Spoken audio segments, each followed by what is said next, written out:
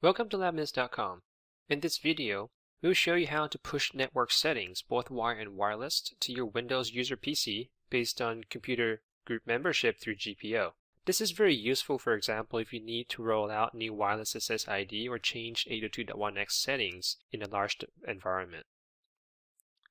So here's our lab setup. It's pretty simple. We have a domain controller at a IP of 32.40 and we have a test PC on a VLAN 64 with the computer already joined to the domain.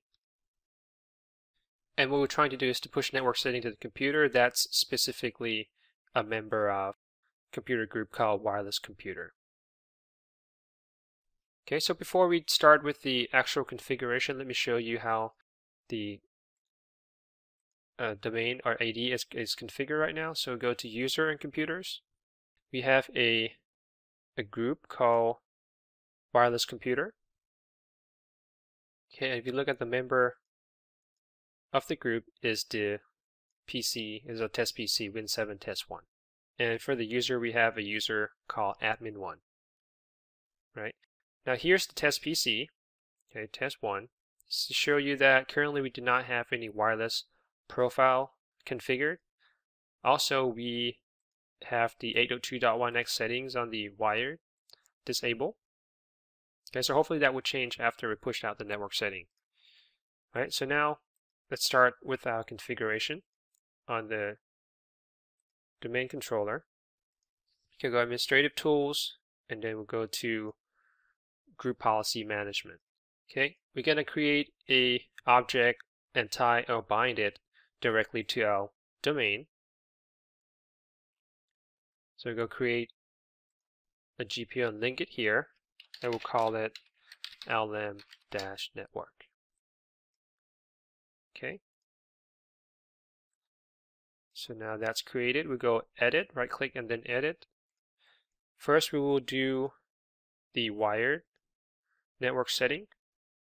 So go policies, network setting, security settings.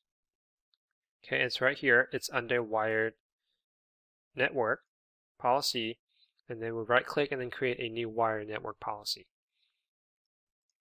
All right, so we'll give it a name LM 802.1x.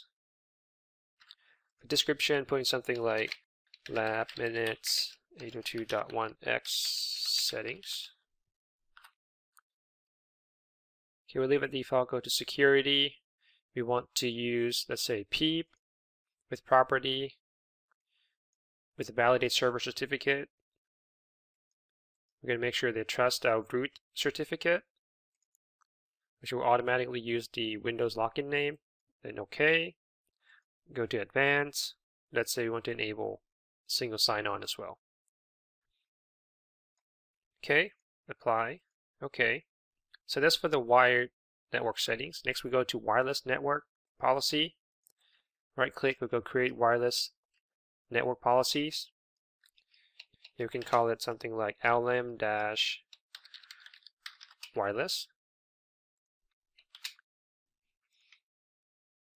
For description, we put lab minutes wireless settings. Okay, now we go ahead and add an SSID add, choose infrastructure. Profile name, just gonna keep it consistent with the SSID itself, so it would be LM internal. SSID is also called LM dash internal, again case sensitive here. So add, make sure you want to connect to the network even though the SSID is not broadcasting.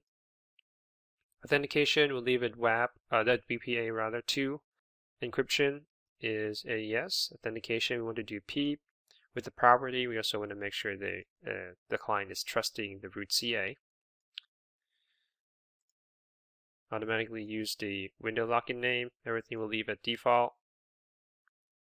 And here we want to do both user and computer authentication. Again, for advanced, let's check the single sign-on box. Click OK.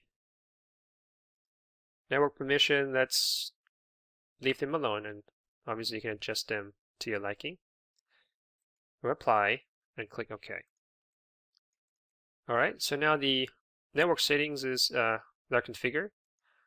Next, we come back to our group policies management and by default for security filtering, basically what or who you want this particular group policy to be pushed out to by default is authenticated users and that's include all the authenticated users and computers.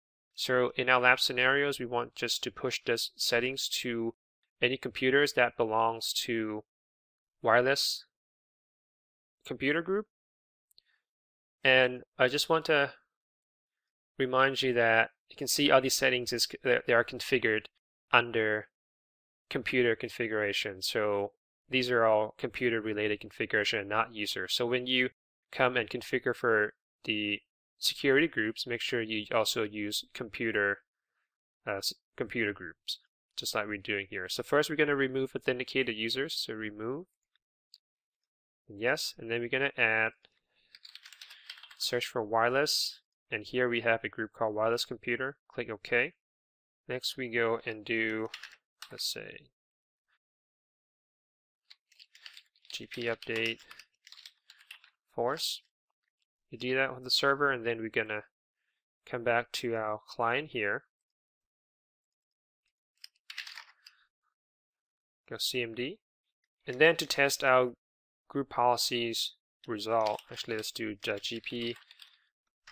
Let's, let's make sure that this computer can ping or has a connectivity to the domain controller first, which it does and then we'll force the GP update. Okay, looks like we have to do it one more time. Okay, so now GP update is completed. What you can now do is to test the group policies result. The command is GP result. And you can see different options if you just go enter here. First, we're going to do uh, slash, let's see, slash r, which is display the RSOP summary data. So slash r. Okay, so it looks like eventually went through, and here's only for user setting. You can see it doesn't really show you the the, the part for computer settings, and that's because it requires a admin privilege. So what need to do in order to see your your computer settings. So you have to go here, uh, CMD, and then run at administrator. And since we have our account admin1 as a local computer local admin as well, it lets you run that. And then you can do GP results, and then forward uh, slash R again. So while this the user settings complete, you can see there's no user uh, settings or the uh, group policy does not apply to user settings at all because we did not configure anything. That's why it came back and said empty. So now let's wait and see the result coming back for the computer setting. Okay, looks like we got uh, part of the output. Let's see, so here's computer settings, and under the apply group policies objects, you can see LM network, which is the object that we created, is apply. So that's what we want to make sure, although it's still processing. So let's see if there's any change so far now that we know the group policy has been applied to the computer. So first let's take a look at the wireless. Managed wireless network. You can see it's already got pushed out even without, you know, for us to having actually to lock out or reboot the computer. The settings has already been pushed out to the computer. So all the, since this is automatic settings coming from the domain controller itself. It's all most of the options are grayed out, so you can't make actually make any changes at all. Go under settings. All the settings are looks exactly just like how we configure it on the domain controller. Okay, so that's for wireless. So wireless succeeded.